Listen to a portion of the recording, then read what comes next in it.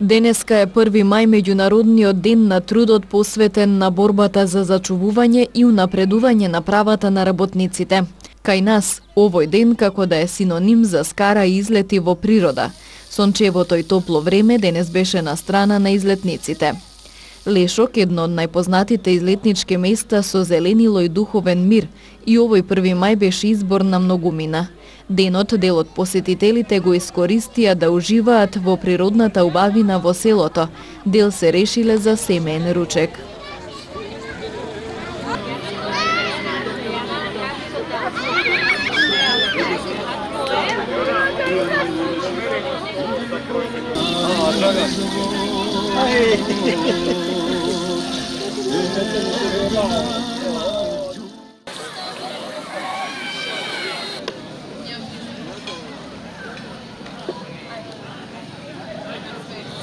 Па 1 мај како меѓународен празник на трудот, како по обичај, овие задни 20 на години, место втори, 1 мај го прославуваме на излет, некогаш со друштво, некогаш е, фамилиарно, денеска само ние двајца, најверојатно младите не више сакаат да бидат со нас.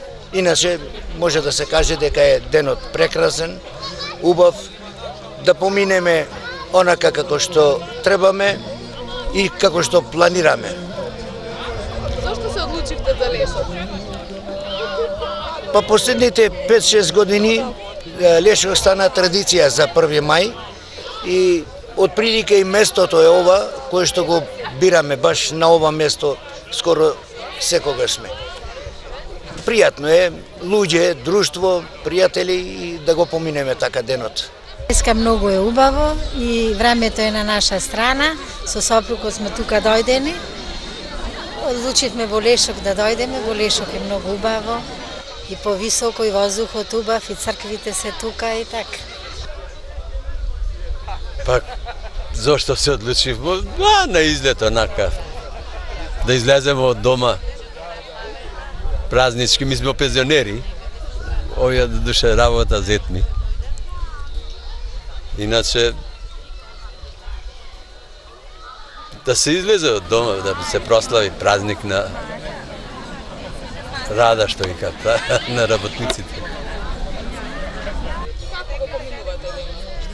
Е, си играмо шахче, се занимавамо после ручек, тие работе, да проđe времето.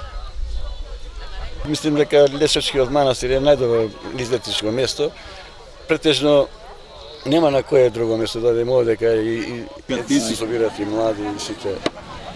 Мислим дека е претежно најдобро за нас посебно, а посебно и ние се се измешаме постарите меѓу младите да се мало релаксираме.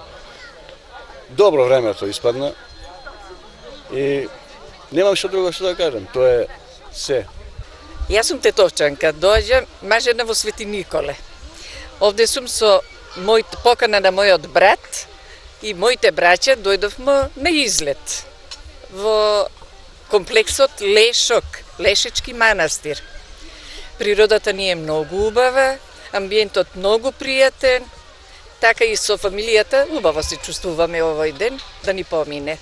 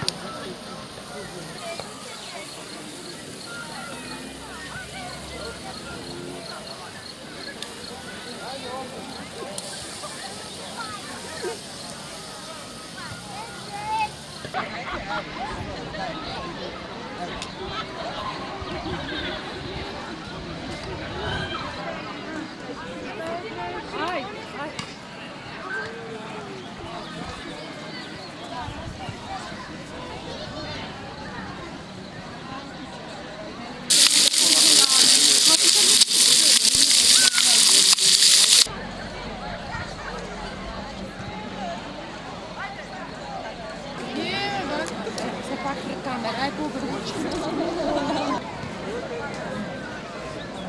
Во Република Македонија меѓународниот ден на трудот има статус на празник. До 2006 година тој се празнуваше два дена, на 1 и на 2 мај, а од 2007 година се празнува само еден ден. Денешниот празник се одбележува во знак на почит кон жртвите на штрајкот, што се одржал од 1 до 4 мај 1886 година во Чикаго.